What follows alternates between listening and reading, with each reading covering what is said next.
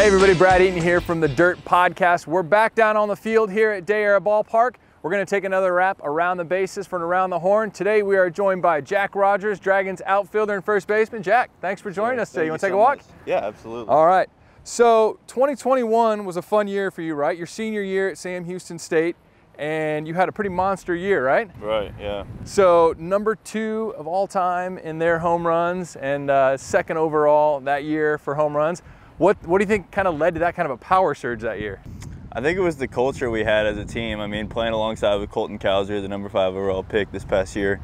And I mean, we were kind of just head to head. I mean, it was always a competition within us to see who could hit the most home runs and who could have the best year. And I think it, it all it just made us better as a whole. And I think that it was pretty special to play alongside him. And um, it was a pretty special year all in all.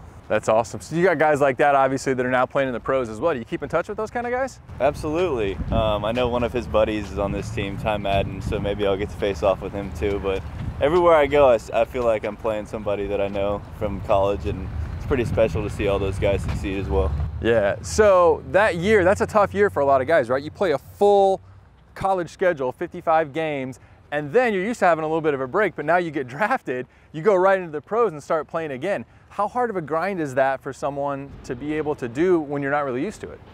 You know, this game is all mental. I think that um, having a year that long was uh, something crazy, but I was just very fortunate to be here. I mean, it's everybody's goal to make it to the minor leagues and eventually to the big sta- the big stage, which is the big leagues. But um, I thought it was pretty incredible, and then just play along some of these guys is just very special to me. Know, the adrenaline kind of gets you through some of those uh, hard times. Absolutely, yeah. I mean, the adrenaline is what pushes you through this game, and if you don't have the adrenaline anymore, then you shouldn't be playing, you know.